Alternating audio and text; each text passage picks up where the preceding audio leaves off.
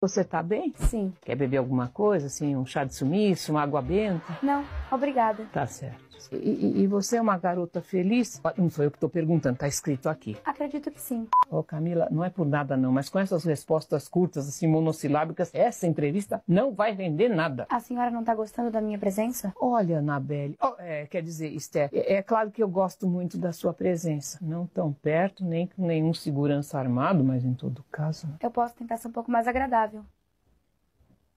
Ai, não, não, não, não faça isso, por favor, que eu vou ter pesadelos à noite.